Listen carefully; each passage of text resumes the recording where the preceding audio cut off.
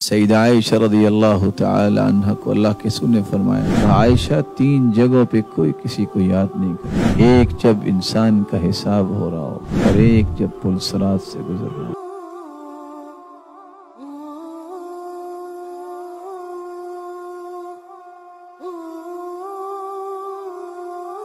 لیس احد یحاسب الا ہلک جس کا حساب لیا جائے گا وہ ہلاک ہو جائے گا۔ سیدہ عائشہ رضی اللہ تعالی عنہ فرماتی ہیں، قلت یا رسول اللہ، جعلنی اللہ فداک میں قربان ہو جاؤں آپ الیس یقول اللہ عز وجل، فاما من اوتی کتابه بیمینه فسوف يحاسب حسابا یسیرا۔ جس کا نام عمل دائیں ہاتھ میں دیا جائے گا، اس کا حساب تو آسان ہوگا کہ اللہ تعالیٰ نے یہ نہیں فرمایا۔ تو رسول اللہ صلی اللہ علیہ وسلم نے فرمایا یہ تو حساب کے پیش کرنے کی بات ہے، جس کا حساب ہو گیا، وہ ہلاک ہو جائے۔ آج دنیا میں بھی اگر کسی کے بارے میں یہ بات آ جائے کہ آؤ نظر اپنے حسابات پیش کرو، کس قدر اس پہ پھر دن بھی تاریخ نظر آتے ہیں۔ لیکن شاید کہ دنیا کے حسابات تو بڑے آسان ہیں۔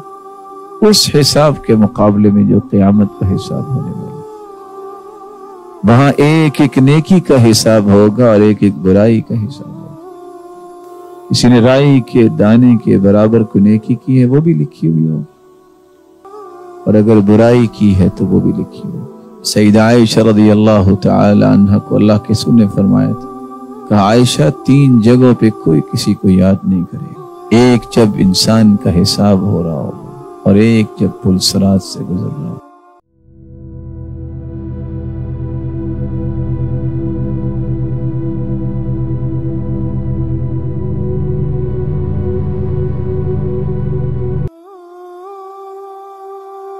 رسول اللہ صلی اللہ علیہ وسلم نے سید عائشہ سے کہا تھا کہ عائشہ تم جنت میں بھی میری بیوی ہو اور میری موت کی سختیاں مجھ پہ آسان ہو رہی ہیں، اس لیے کہ مجھے خبر دی گئی ہے کہ تم جنت میں بھی میری بیوی ہو۔ اس قدر محبت کا اظہار اور اس قدر حقیقت کا اظہار اللہ تعالیٰ نے کروایا۔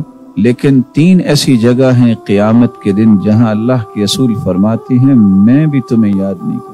اللہ حضر جلال قیامت کے دن بغیر حساب اور بغیر عذاب سے ہم سب کو جنت الفردوس میں داخل